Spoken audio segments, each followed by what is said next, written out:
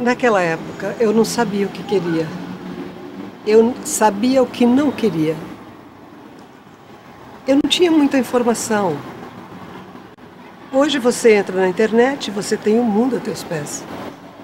Se bem que na internet também é tudo muito superficial. Aliás, a vida é muito superficial. Tudo é superficial. Não existe mais ética, não existe mais moral. As pessoas não têm mais aquela essência, aquele sentimento. Eu acho fundamental você falando que quando tudo começou, quando tudo começou. Ah, o que passou, passou. Sim, mas eu acho tão interessante você poder falar sobre isso.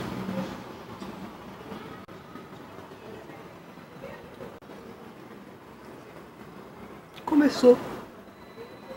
Lá da punição. Ele passou correndo por mim, indo em direção ao metrô. E eu fiquei pasma, fiquei aparvalhada. Foi o que bastou para eu perder de vista. Mas aquele encontro me sugeriu que haveria outros encontros. Como ele era? Ele era assim que nem você, alto, cabelos escuros, olhos castanhos. Será que era eu? A segunda vez eu não quis vê-lo.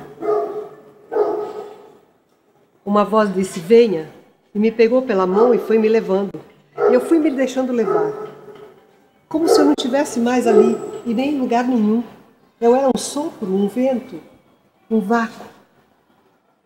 Aí a voz disse: É hora de vê-lo. Eu disse: Não. Eu só conseguia ver o seu sorriso. E o sorriso me sugeriu uma música. O sorriso do meu peito. Linda. Linda canção.